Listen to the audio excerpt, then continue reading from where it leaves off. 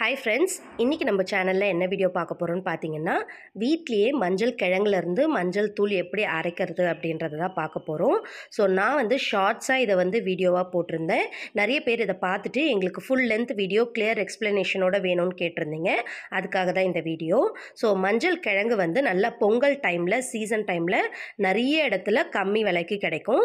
So அந்த டைமில் நீங்கள் மஞ்சள் கிழங்கு கொஞ்சம் லாட்டாக வாங்கிக்கோங்க. நான் வந்து பத்து கிலோ மஞ்சள் கிழங்கு வாங்கியிருக்கேன்.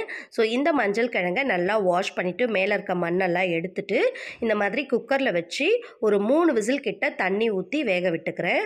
இதை வேக வைக்கும் பொழுது எதுவும் சேர்க்க தேவையில்லை. கூடவே நீங்கள் தோலும் எதுவும் எடுக்க தேவையில்ல. அப்படியே வாஷ் பண்ணி வேக விட்டால் மட்டும் போதும்.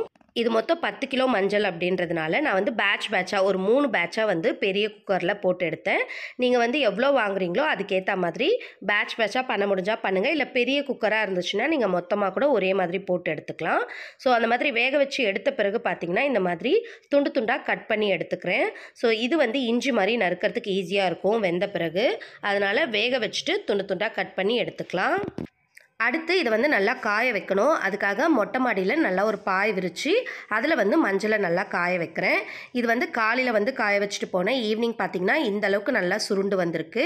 இது வந்து ஃபஸ்ட்டு டே தான். நான் வந்து ஒரு த்ரீ டேஸ் கிட்ட நல்லா மொறு மொறுன்னு ஆகிற வரைக்கும் இதை காய விட போகிறேன் இப்போ த்ரீ டேஸ் ஆயிடுச்சு. இப்போ நெக்ஸ்ட்டு நம்ம இதை மிஷினில் கொடுத்து அரைச்சிட்டு வர போகிறோம் அதுக்கு முன்னாடி பார்த்தீங்கன்னா மொட்டை மாடியில் காய வச்சதுனால இதில் தூசு முடி இதெல்லாமே இருக்கும்.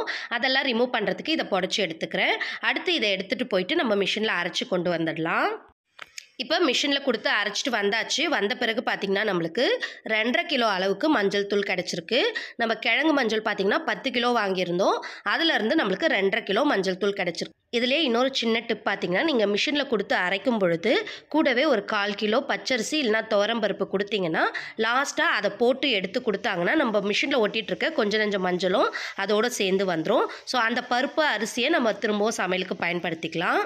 பேக்கெட்டில் வாங்குகிற மஞ்சள் தூளை விட வீட்லேயே நம்மளே தயாரிக்கிற மஞ்சள் தூள் ரொம்பவே நல்லது.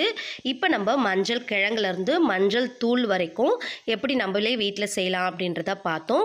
கண்டிப்பாக இந்த வீடியோ நிறைய பேருக்கு யூஸ்ஃபுல்லாக இருந்திருக்கும்னு நினைக்கிறேன். ஸோ இந்த வீடியோ உங்களுக்கு பிடிச்சிருந்துச்சுன்னா வழக்கம் போல் லைக் பண்ணி ஷேர் பண்ணி கூடவே உங்களுக்கு இருக்கிற டவுட்ஸை கீழே கமெண்ட்டில் சொல்லுங்கள் ஸோ நெக்ஸ்ட் சூப்பரான வீடியோவில் மீட் பண்ணலாம். பாய்